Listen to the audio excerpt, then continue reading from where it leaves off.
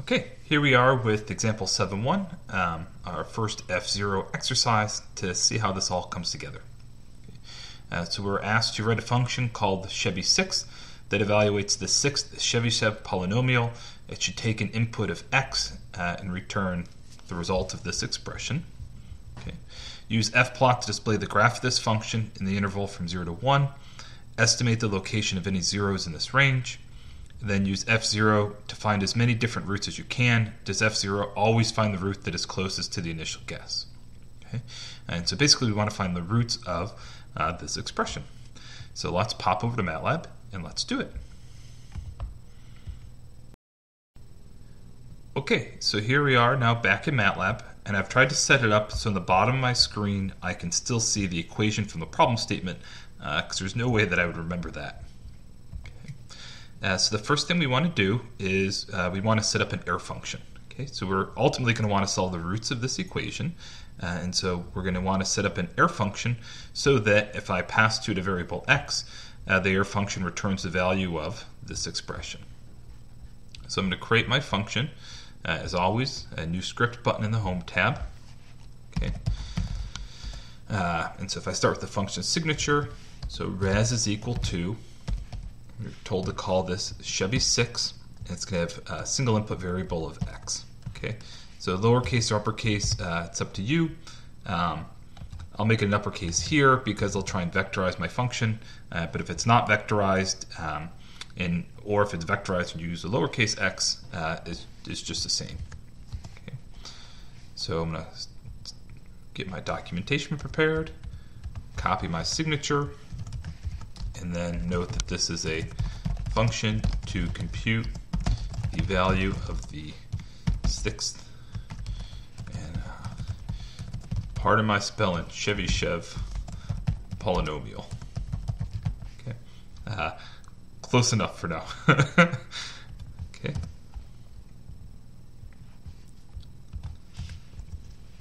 Okay. All right. And so then um, all we need to do um, is for a given value of x, we want to evaluate this expression. Okay, so I'll have res is equal to 32 times um, x to the 6. Um, so I'm using capital X.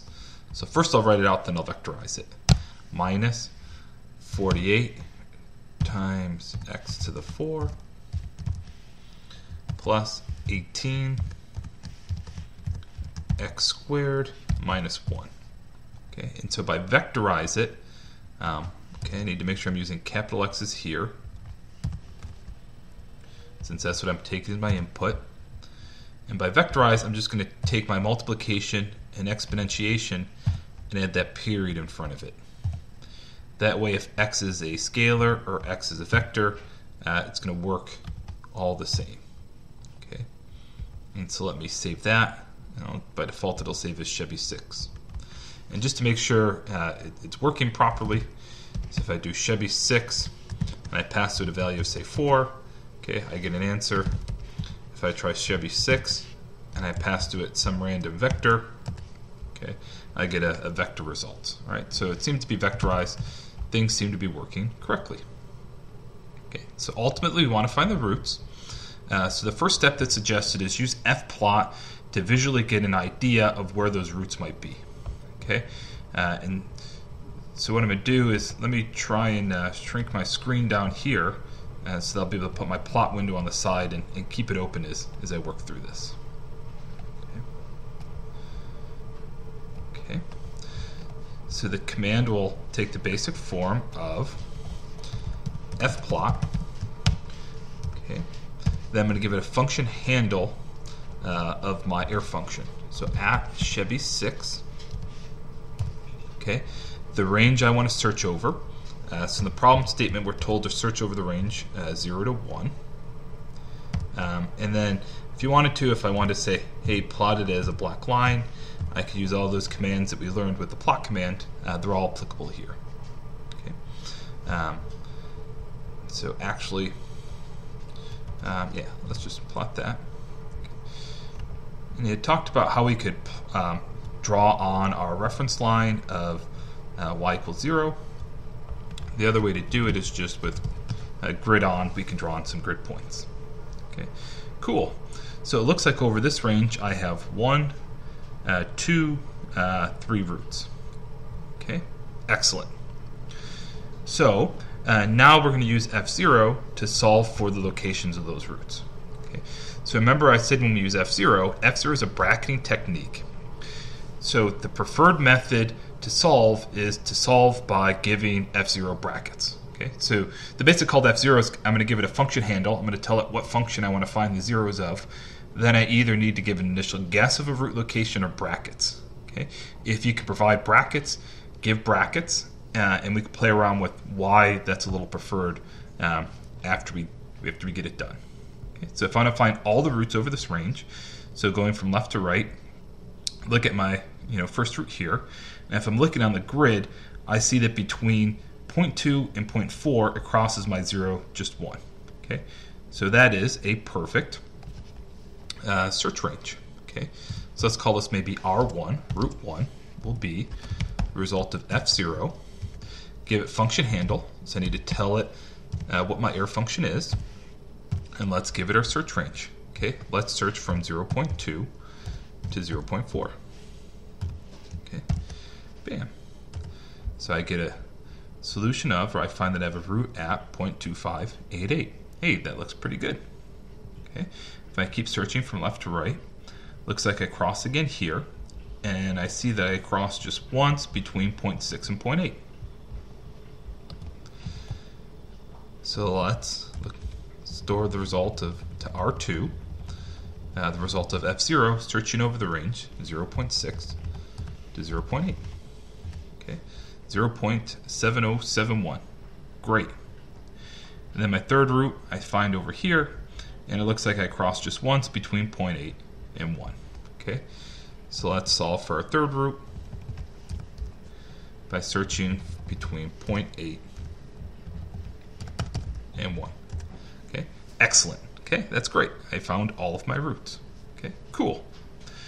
Um, so you could turn me off now, uh, but uh, let's play around just a little bit more to, to have fun. So if I look at Chevy 6, uh, what would happen if I tried to give fzero a search range of 0 to 1? Okay, so the first thing is uh, it'll actually work. And why it'll work is what fzero will first do is it'll evaluate my function at those two bracket endpoints. So to evaluate my function at 0 and 1, okay, over here my function is negative, over here it's positive, so it uh, conforms to the requirement that my function has to change signs over the interval. Uh, and so MATLAB will assume my function is continuous, so fzero will go ahead and it'll solve this problem. Okay, the issue is is that intermediate, intermediate value theorem tells us if my function changes sign over an interval and is continuous, then it'll have at least one zero, right? At least. This is the case where we just saw we have three zeros. So if I give it this range, fzero will run. What's unclear though is what zero it'll actually find, right? It depends on how that search algorithm's set up, of how it starts to shrink that bracket in terms of what it actually converges on. And so if we run it, we see it actually gives uh, the first root 0.2588. Okay, um, so brackets are nice because if I can visually see my function, um, I can identify ranges over which I have, say, a single zero, and then when I set up that bracket, I know I'm going to find that one uh, desired zero. The other um, point the problem statement was getting at is when you use initial guesses. So remember, if I specify an initial uh, guess, then MATLAB is first going to try and find a bracket. Okay, and I'm not exactly sure how that bracket is found. Okay, so if I look, uh, our third root was 0.96, uh, second is uh, 0.7. Okay, um, so what would happen if I gave uh, initial guess of 0.8, right, right in between those two roots? You know, question is, what root am I going to find, right? Uh, so it turns out I get 0.7071. If my initial guess was, say, 0.81, I'm still stuck there. 0.85, right? Now it jumps over to the other root, okay? And, you know, all it's trying to get at in the problem statement is um, initial guesses are often very convenient, okay? Um, oftentimes, maybe I have a physical problem and I have an idea about where the answer should be, uh, and so I can quickly come up with an initial guess of what that answer might be, right? Or maybe I base it off of a similar problem. But if you can specify brackets, uh, brackets are preferred because you know if I set up brackets, I know I'm going to get the root in between that brackets. Um, and a lot of physical problems we'll look at only have one solution, uh, and, and, so it will work uh, just fine, right? So uh, it's just a matter of with initial guesses. Um, you, know, you need to be careful because if you have multiple roots, it's not clear ahead of time uh, which root you'll actually get. Okay.